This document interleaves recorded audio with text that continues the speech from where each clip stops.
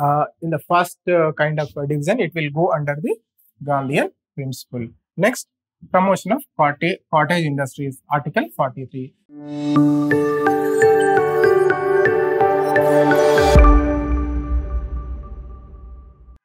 Good morning, students. Welcome back to Plutus IAS. So we are we are in the 95 days uh, prelims challenge. So today is our fifth day. Uh, the topic for today's discussion is DPSP, Directive Principles of State Policy. So this is also very important from the point of view of uh, prelims examination. There are number of questions have been asked over the years from this topic also. So without wasting much time, we will go and discuss the topic. First, we will understand the genesis of DPSP. I mean, from where the idea of directive principles of state policy has come. So, first, the history of DPSP can be traced back to Karachi Resolution of 1931. So, this is a very important and historic uh, session of Congress. Many rights have been adopted. Radical change has come in the ideology of Congress, Indian National Congress. You will know much about much more about this session in the history classes. So, uh, for here, for this class, remember that the genesis of DPSP can be traced back to Karachi, uh, Karachi session and Karachi, Karachi resolution of 1931. So, from the 1920s onwards, uh, the socialist ideas have started influencing Indian minds also. So, that was the trend all over India, uh, sorry, all over the world. Uh, the socialist uh, trends were there and India was not an exception to it. So many socialists have emerged emerged in India.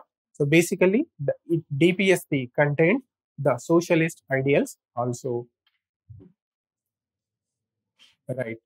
So similarly, when uh, the discussions in the Constituent Assembly were going on, uh, there was suggestions of justiciable and non non-justiciable rights. So some committees were uh, discussing and suggested, some committees suggested justiciable and non-justiciable categories of rights. So unit 4, 4 of the Sapru, uh, committee also just suggested it and uh, the rights subcommittee. So as you all know, there were some subcommittees working when the constitution is being drafted. So the rights subcommittee, it is also suggested uh, the justiciable and the non-justiciable rights. So basically, the DPSP, Directive Principles of State Policy, come under non-justiciable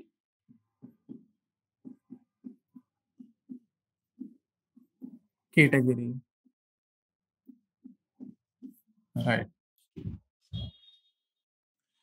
So the primary source, if you see the primary source, the uh, principles of uh, the directive principles have borrowed from the Irish constitution. So we can say this is the primary source.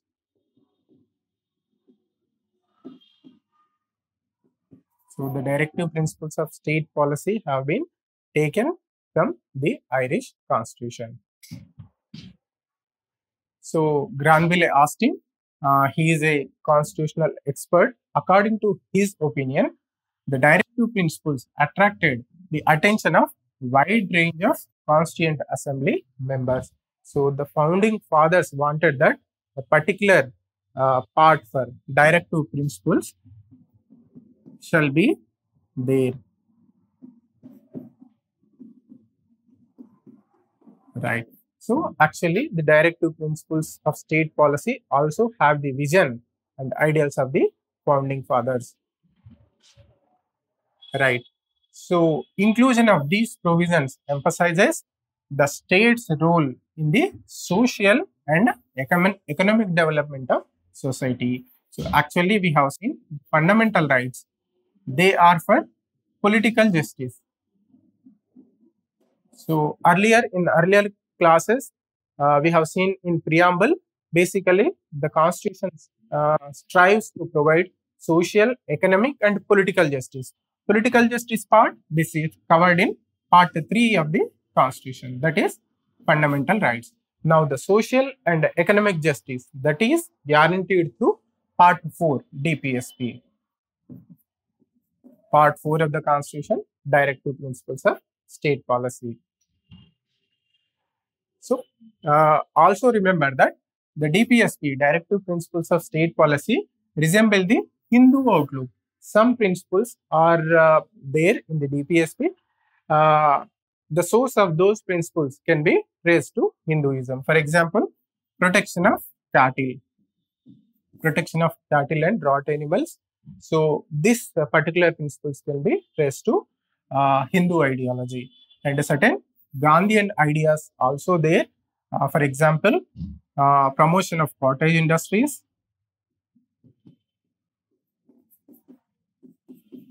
right. And the other one is organization of village panchayats. Organization of village panchayats. So these kind of ideas. So they reflect the gandhian ideology right? The constituent, uh, constituent assembly tried to incorporate uh, i mean tried to i mean it decided to incorporate uh, the directive principles in the part 4 of the constitution. So part 3 these are fundamental rights. So this ensure these rights fundamental rights ensure political justice and part 4 dpsp these ensure social and economic justice. Right. So now we will see we will do a brief survey of directive principles of state policy. We will see all the provisions that are there in the directive principles and we will see what each article says. Right. So the dpsp directive principles start with article 36 so here the definition of state is given. So basically we will see uh, in the directive principles the state has given the responsibility to achieve these ideals, the goals that are given in the directive principles. So, Article 36 defines what state means. So, the state, uh, the state, the particular word state has a diverse uh, meaning. It includes uh, central government, state governments, judiciary, parliament, state legislatures, and all other organizations working under the government of India, including it also the list also includes local local bodies. The bodies that are, I mean, the governing bodies that are there at the local local level. So the state, the word state has a lot. I mean, big def, uh, big list or big definition. It comprises of lot of uh, entities or organization. So try to remember this definition. It may come as a question in the prelims examination. So basically, Article 36 defines the state. Right. Uh, Article 37 application of principles contained in this part. So Article 37 clarifies that the principles of uh, in the directive uh, principles of state policy are not enforceable but fundamental. So these uh, DPSP directive principles are non-justiciable. They are not enforceable by courts of law. We will uh, later in this lecture understand what is exactly meant by non-enforceable nature of uh, directive principles of state policy. But another word uh, is there here fundamental so these uh, directive principles are fundamental in governance of the country.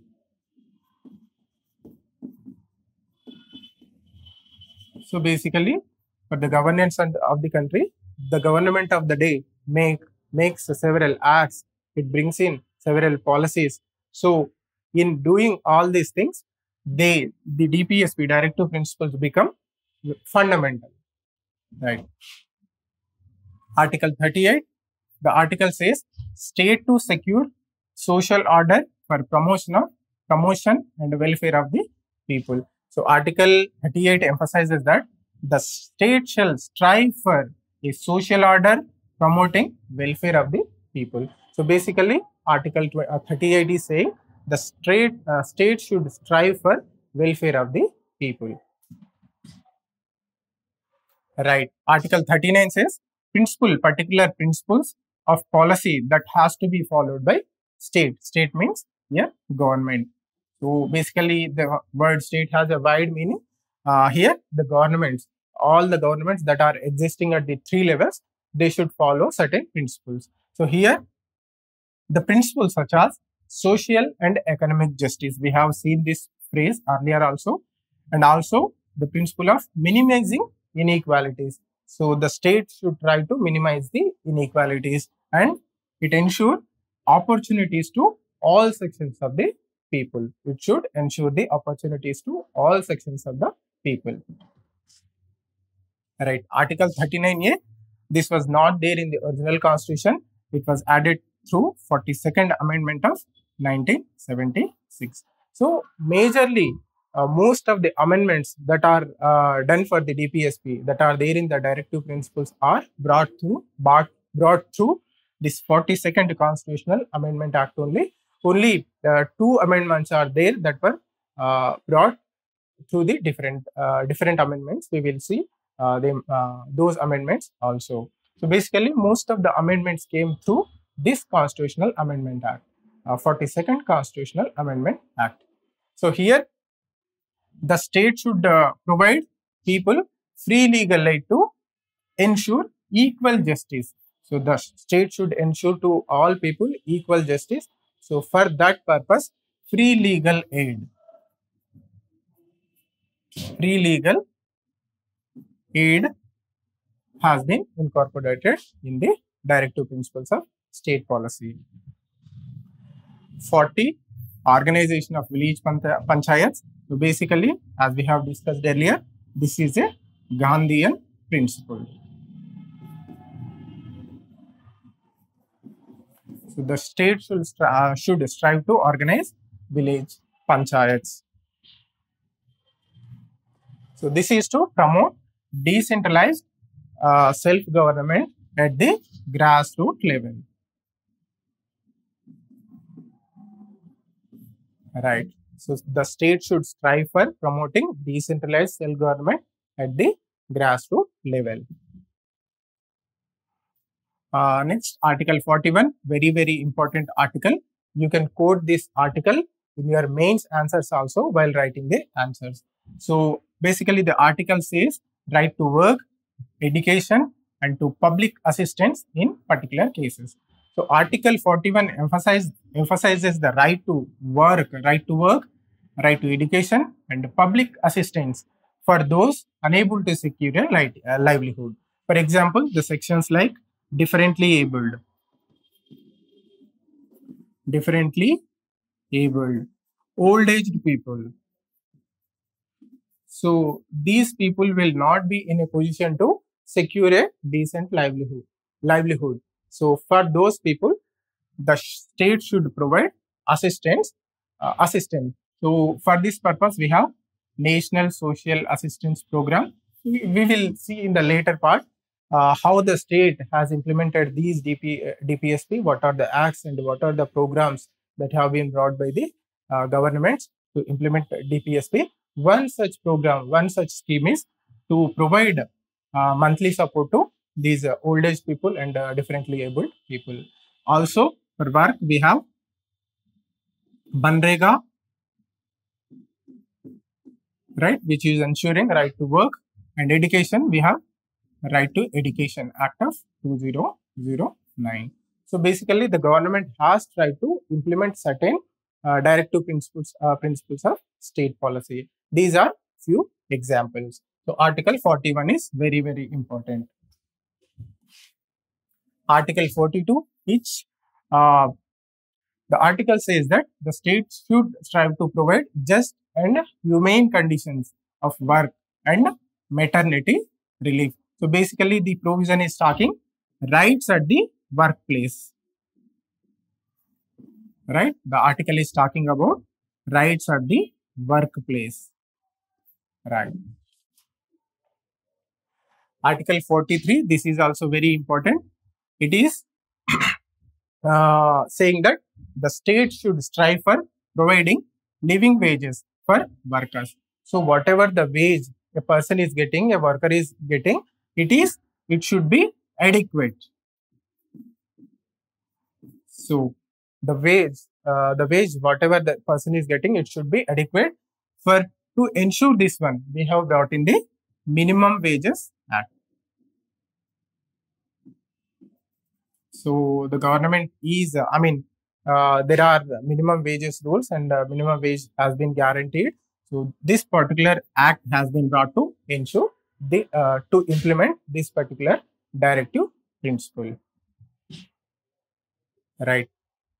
Article 43A, uh, it says that the state should strive for participation of workers in the management of industries. So basically, this is also brought through 42nd Amendment Act. So uh, this is also in a certain way to minimize the economic inequalities and uh, making opportunities to all people and uh, making the workers in the uh, as part and parcel of the management. So to fulfill all these uh, principles or conditions, this particular the state should strive for work for the workers in the management of industries. This is also ensures that the resources resources are not concentrated in the uh, in the hands of the in the few hands hands of the few, few people. So basically this is to prevent the concentration of wealth.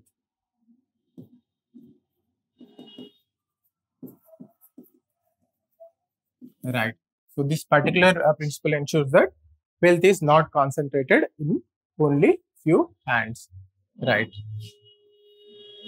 Next article 43b promotion of cooperative societies as well, no cooperative uh, the feature of cooperative uh, cooperative societies are the spirit of cooperation. It failed to take roots in india. There are only few exceptions like amul. So the government once again retried to kindle the spirit of uh, cooperation to basically develop the rural India, the grassroots people. So this particular uh, uh, article has been inserted through uh, 92nd, 97th Constitutional Amendment Act in 2011. So Article uh, 43 directs the state to promote cooperative societies for social and economic cooperation, especially in the rural India. We also see there is an amendment to the Article 19 also so a provision relating to cooperative societies is incorporated there also and uh, joining a cooperative has been made as a fundamental right through that amendment. So try to remember this aspect also. It may also come in the examination. Next one is very important and very contentious. It will uh, be frequently in the news. So uniform civil code. So the state should, the directive principles say that the state should strive for, strive to bring in a uniform civil code in the uh, ensuring for in, by uh, for ensuring uniform personal laws. So personal laws are now different for different religions. So each religion has a separate personal law. So what Article 44 says that the state should strive for uh, a uniform uh, civil code. So the recent example is Uttarakhand government. Government has brought in a uniform civil code for the state. So it is interesting that the state government uh, is bringing the uniform civil code. Uh, so it is a recent development. We will wait and see what how the Supreme Court will respond to this particular uh, uh, Uniform Civil Code or Act. We will wait and see. The next article is Article 45, promotion of early childhood care and education to children below age of 14 years. So the state should ensure that uh, child, children are well taken care of and they are well educated. The important, another important article is Article 46, promotion of educational and economic interests of scheduled castes, scheduled tribes, and other weaker sections. So we can say this is the source for reservations for SCs, STs, and OBCs in uh, educational institutions, in jobs, and also in legislatures. Next, Article 47 duty of the state to raise the level of nutrition and the standard of living to improve public health. Right. Next, 48. This is also very important. Organization of agriculture and animal animal husbandry. So the state should also strive for organizing agriculture on modern lines and improve the sector of animal husbandry because this particular uh, provision has been incorporated because almost 70% of the people are living in rural areas and more than 55% of Indian population are still dependent on agriculture. So, to take care of the vast majority of the society, this particular uh, directive principle has been incorporated in the constitution. Next is uh, 48A. This is also incorporated through 42nd Constitutional Amendment Act. This says that protection and improvement of environment, environment and safeguard forest and wildlife right. So the duty it says that it uh, depicts the duty uh, of the state to protect environment, forest and wildlife for ecological balance. Next, 49 promotion of uh, protection of monuments and places and objects of national importance. So basically, this uh, provision has been incorporated to incorporated to protect our rich cultural cultural heritage and monuments. So uh, to implement to achieve this goal, we also have, the government also brought in a act to protect the ancient and historic monuments. Right. Uh, next provision is separation of judiciary from executive. So this is a political and intellectual ideal. So basically, to ensure uh, judicial independence and justice is properly uh, given to the people, uh, the constitution advocated for separation of judiciary from executive. This is also uh, uh, this is also the principle of separation of powers.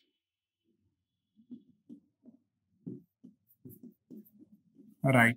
So this will the separation of powers will ensure proper checks and balances and no organ of the government. Basically, there are three organs of the government. Those are executive,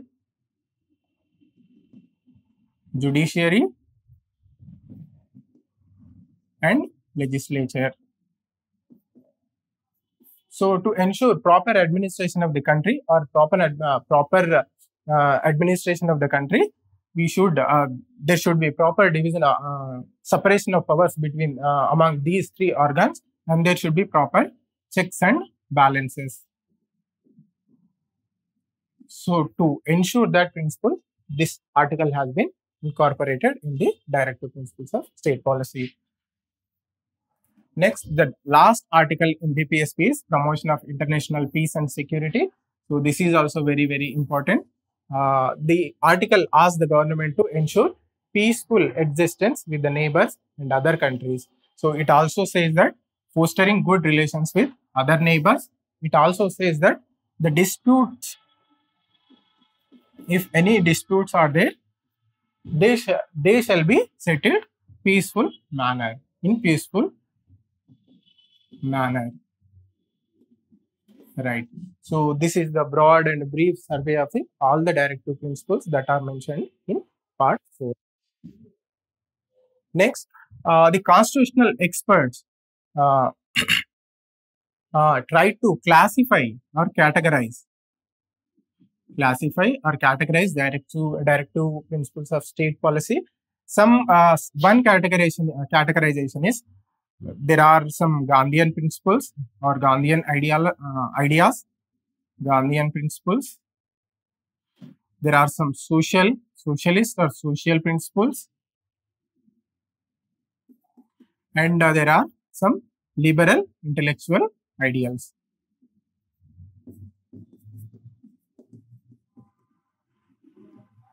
Ideals. It basically this classification is given by MP Sharma.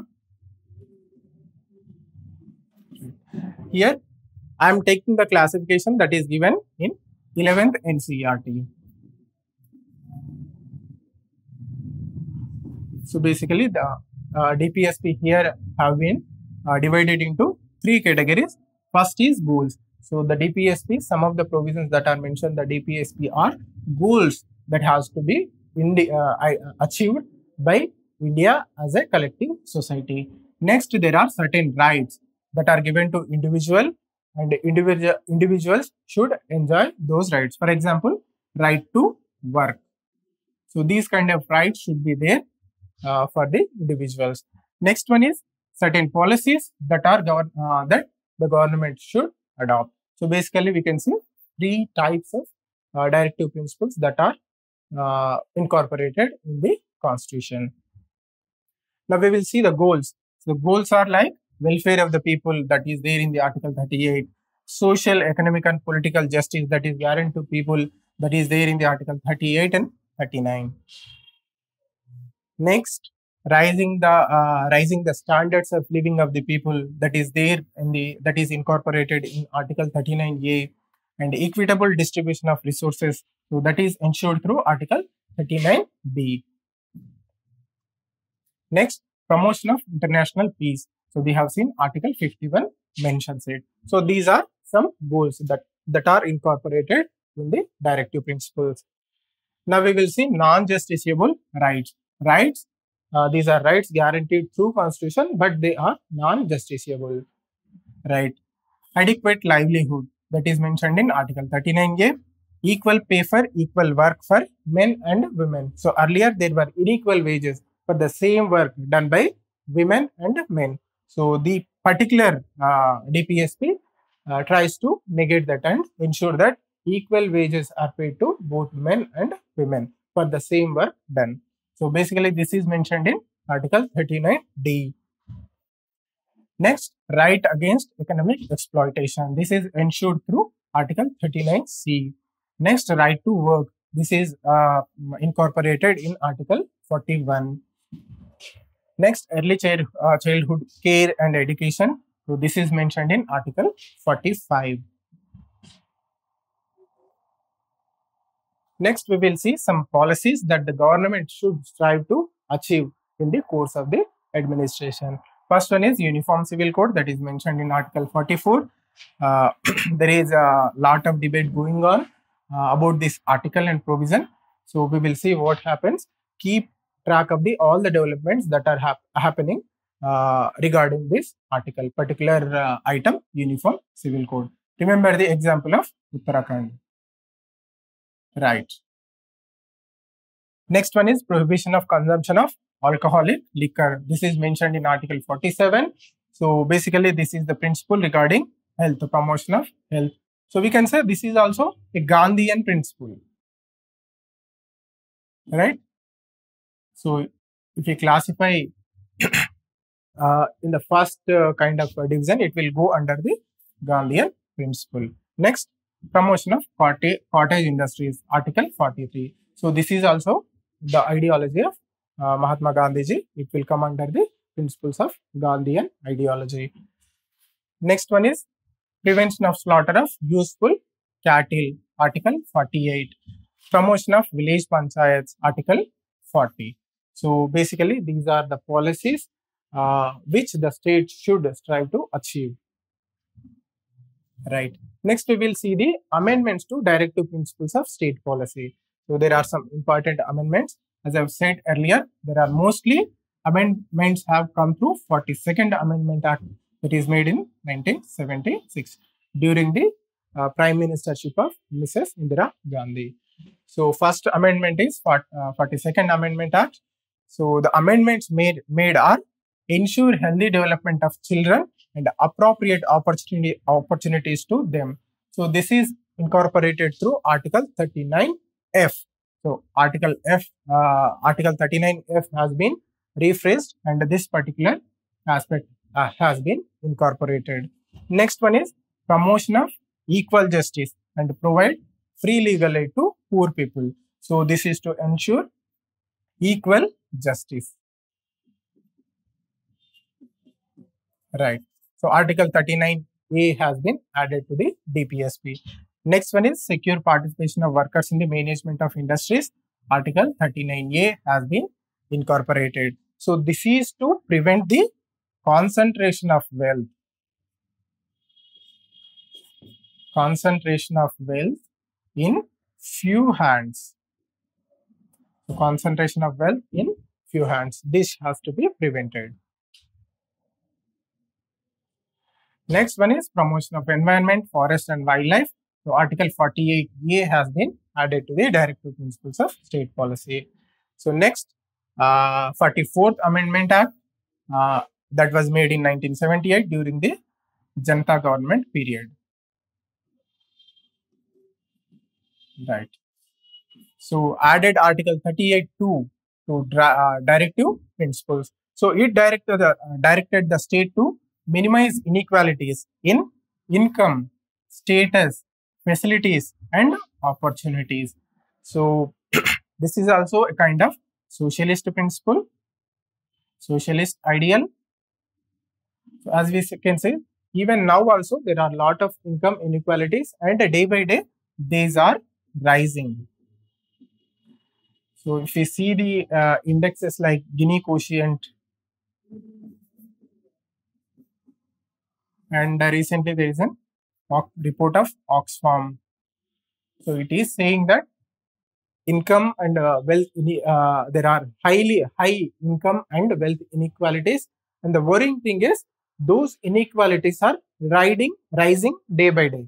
Here we are trying to reduce the inequalities, but contrary, contrary to that, the income inequalities and wealth inequalities are rising. So still there is a lot of work there uh, to uh, do here.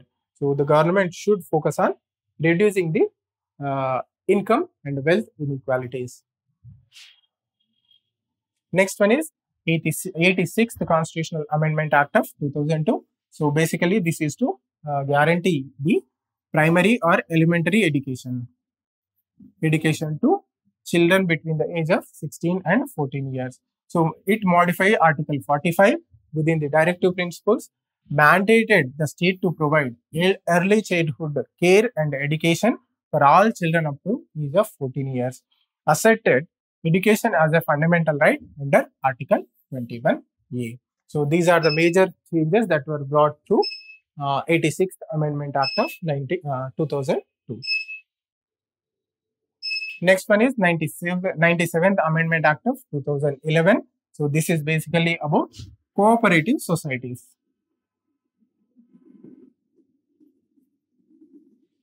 Right. So introduce Article 43B in Directive Principles of State Policy.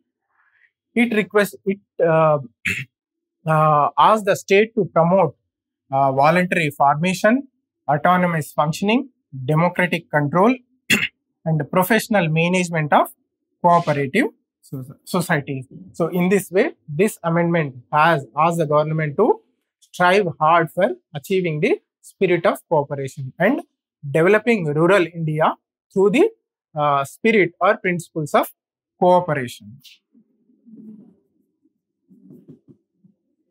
Right.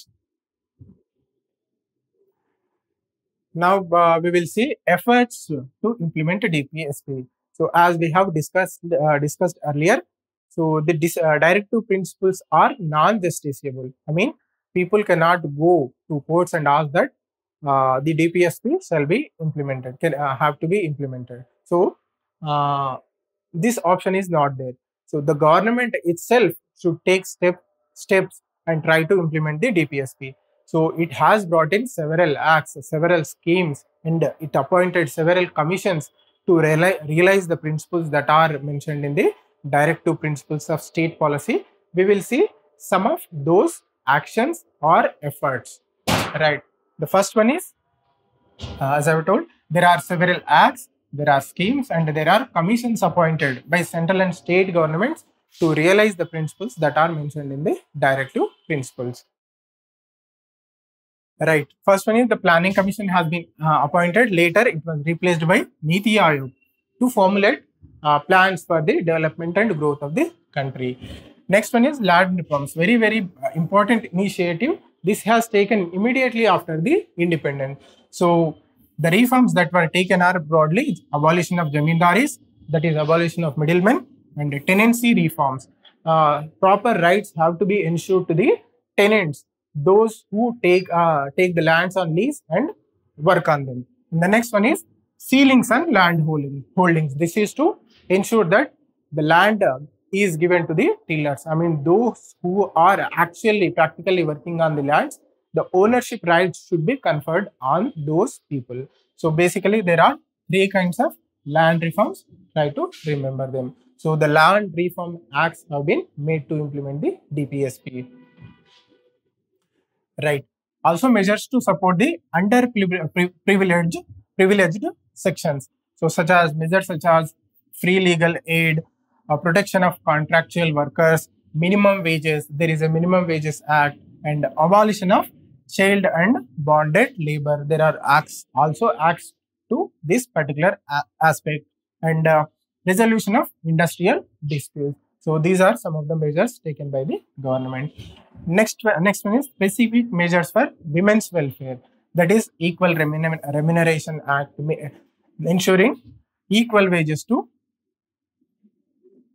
both men and women. Next one is acts for protection of wildlife and the conservation of forest. So we have like wildlife, uh, wildlife protection act, biodiversity act, Envi uh, Environment Protection Act. So these kind of uh, acts have been brought to ensure this particular principles. Also, there are boards like Central Pollution Control Board, etc. So all these measures have been taken to protect environment and wildlife.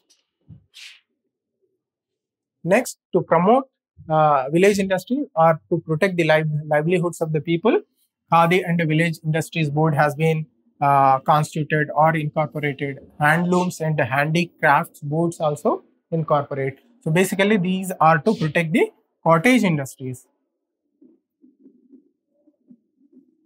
So basically in India, cottage industries are there mostly in textiles sector.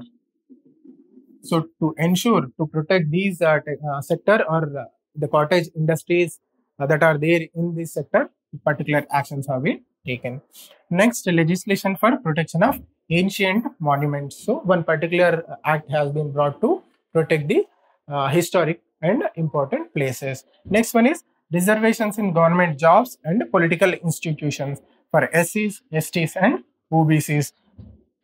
Recently, reservations also given for EBCs, econ economically backward classes and this has been accepted and approved by the Honorable Supreme Court also. Right. Next, laws addressing civil rights and preserving social exploitation. Sorry, preventing social exploitation. Ex exploitation. So there are Civil Rights Act, protection of Civil Rights Acts is there. Right. Next, uh, there is an, also another act, prevention of atrocities. Prevention of atrocities on SCSTs. So this particular uh, act is also there. So these are acts have been brought to ensure this, uh, this particular provision. Next, establishment of village panchayats along with reservations for weaker sections. This is to pro promote grassroots level democracy. Level democracy and also the provision of ensure the provision of organizing village panchayats. Similarly, there are various programs initiated by the government from time to time from uh, the community program CDP. So here on, there are several measures have been taken to address the issue of poverty and ensuring adequate income, adequate living income to people. So programs like CDP, Community Development Program, Hill Area Development Program, Integrated Rural Development Programs, IRDP, MGNREGA. So this is also uh, provides tries to provide adequate wages to people. It guarantees 100 days of work for the rural households, eligible rural households, and also some health health schemes, National Rural uh, Rural Health Mission, and a recent Ayushman Bharat. So these uh, all these measures have been taken to ensure uh, adequate livelihood for the pe people and also to ensure the health of the people.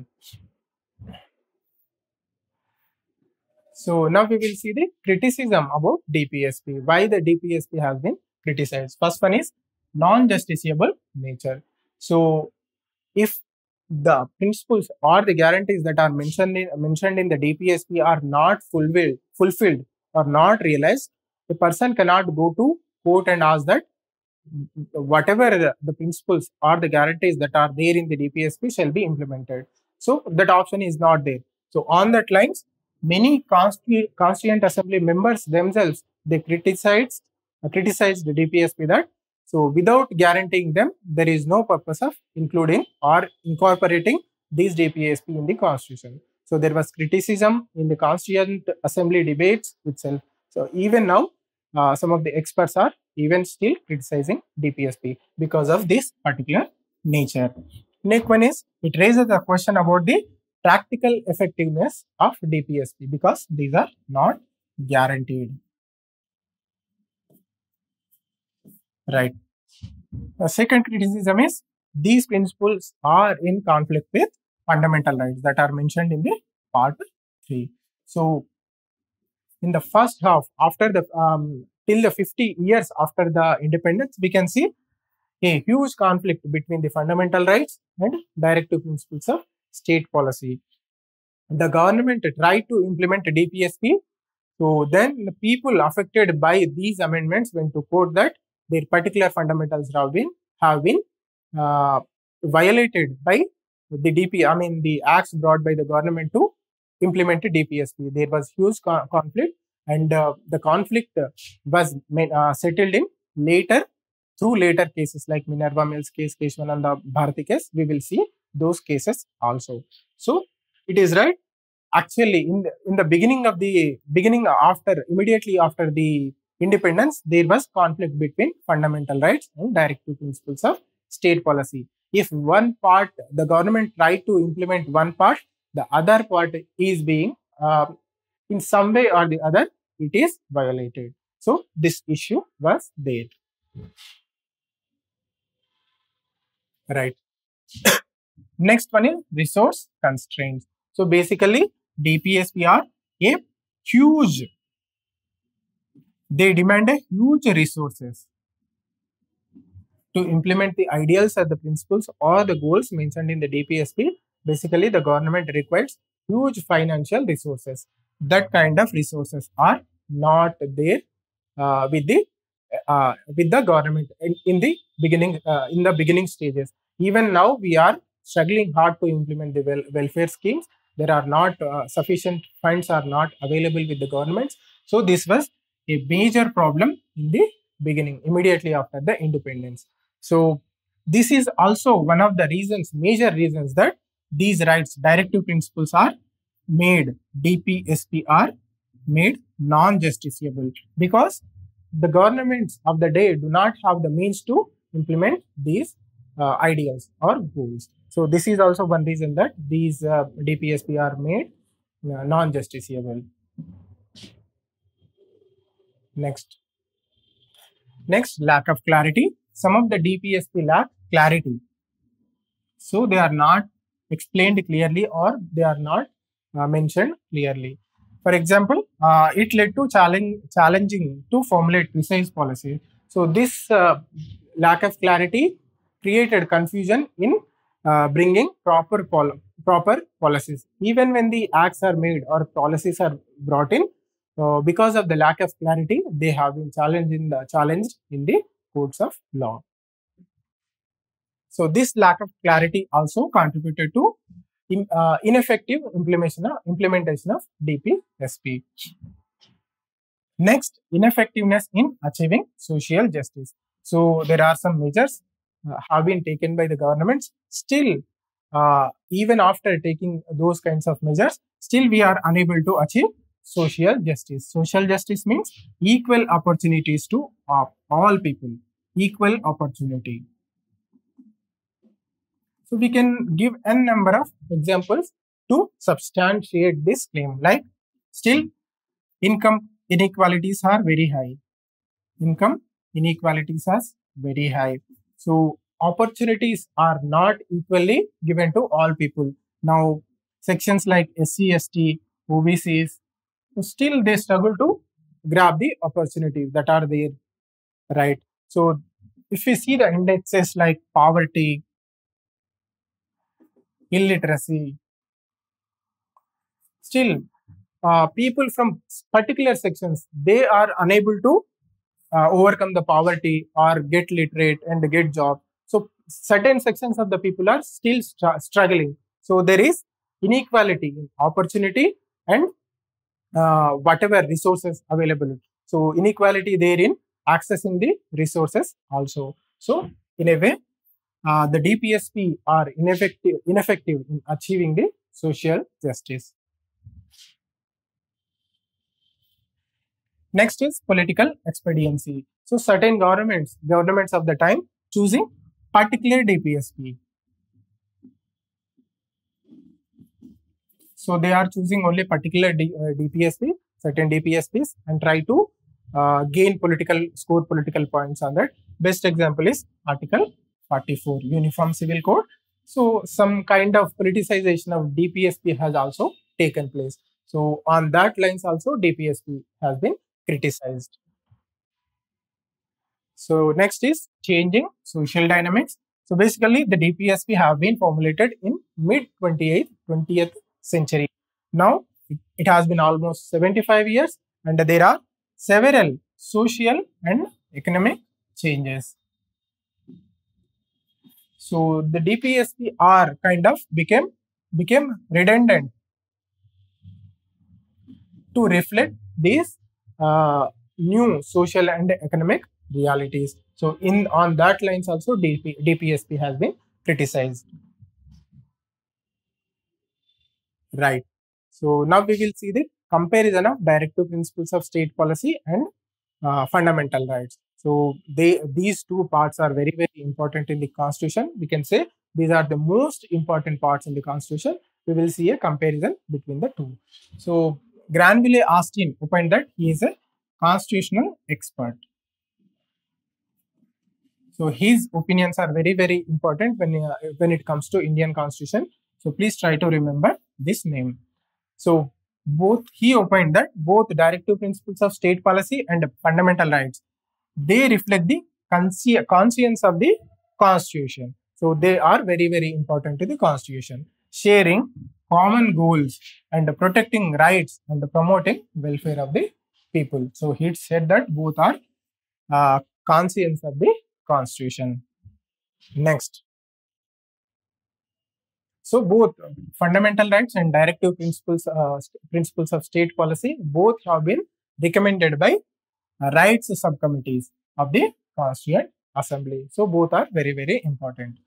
So the major fundamental difference is fundamental rights are uh, negative. I mean, they are constraints on the state. So they are basically the restrictions on state. State means here government.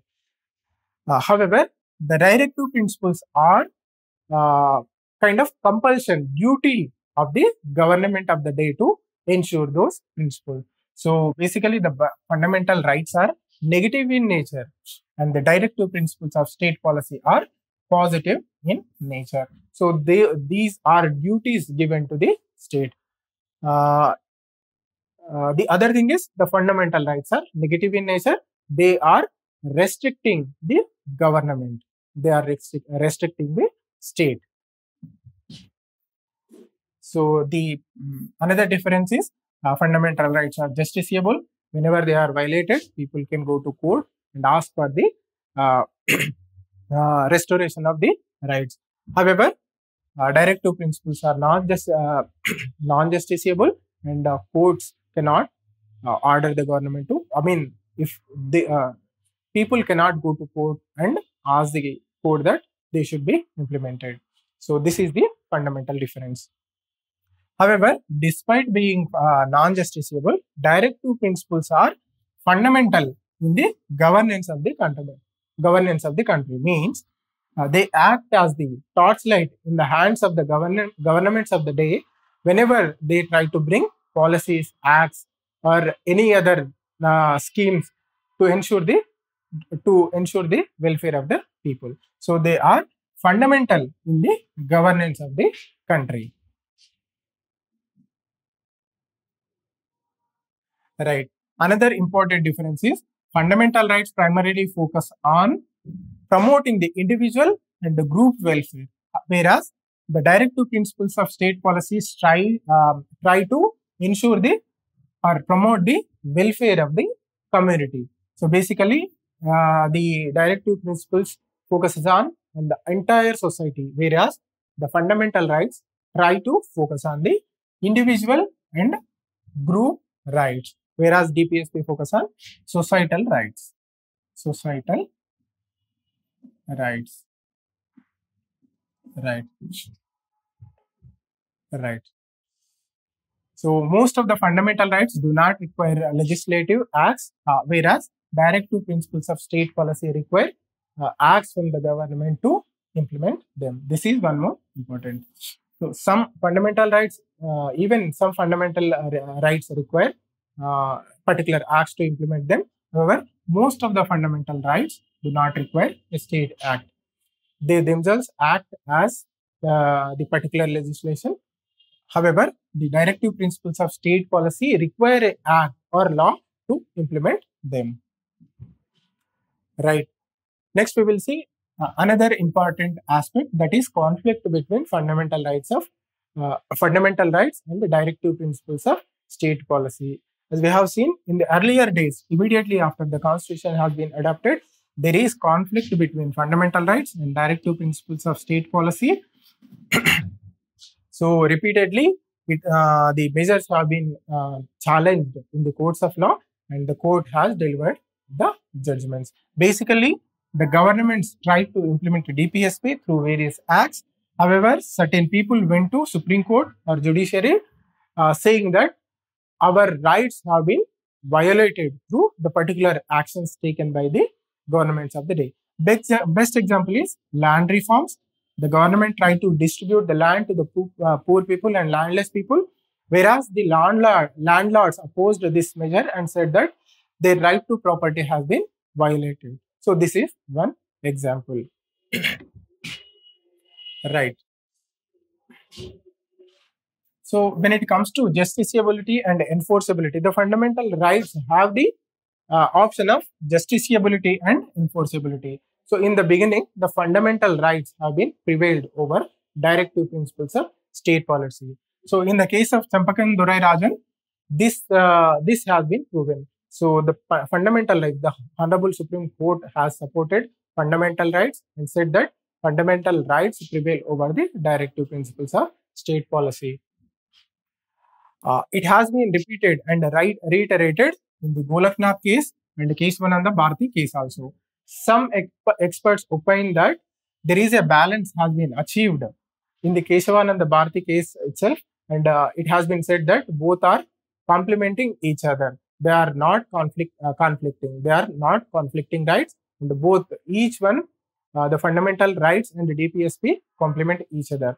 But however some experts opine that the actual balance between both uh, both of them has been achieved in the minerva mills case of 1980 so here the honorable court has opined that uh, both uh, directive principles of state policy and uh, fundamental rights are essential. There are they are essential for the well-being of the people of the country. So this is the opinion that has been given by honorable supreme court. So in this way a compromise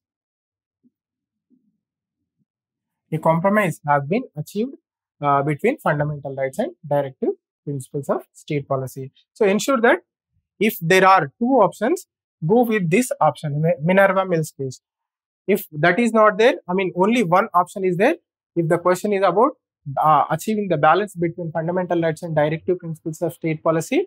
If Kesavananda Bharati is there and uh, Minerva Mills is not there, go with the option of Kesavananda Bharati. So if both are there, go with the option of Minerva Mills case. So basically the court opened that the harmony and balance between the two are deemed essential for uh, basic structure. I mean, uh, I mean, for promoting the welfare and uh, goodness of the people, the proper balance between fundamental rights and directive principles of state policy is important. This is basically the opinion of uh, the Honorable Supreme Court. So, in this way, a settlement has been brought in between the fundamental rights of uh, fundamental rights and directive principles of state policy. Right. So this is some information about the directive principles of state policy. I hope you have uh, gained some knowledge and uh, valuable information through the, through this lecture. Now we will see some uh, previously asked uh, questions in the prelims examination. First question is, it is asked in 2021. Uh, the question is, under the Indian constitution, concentration of wealth violates which particular part?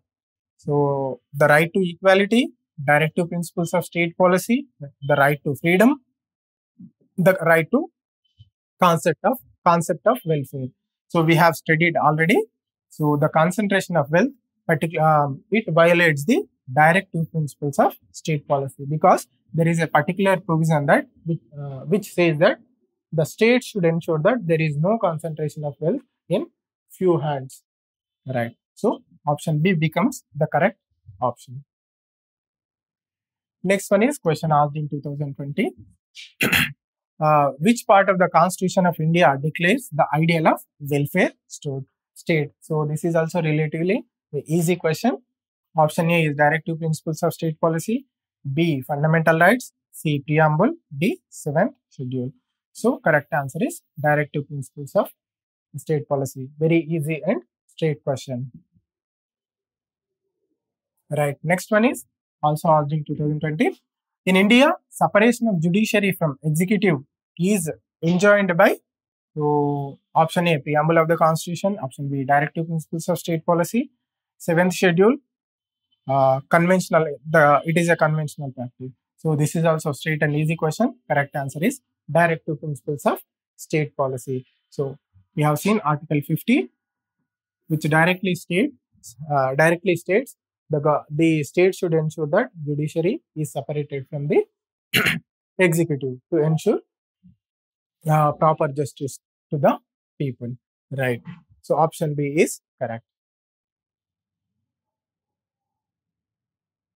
So next question with reference to Constitution of India, the directive principles of state policy constitute uh, constitute limits upon legislative function, executive function. So options are only one, only two, both one and two, neither one and two. So as we have seen already, uh, it will neither uh, put a control on legislative action nor on executive action.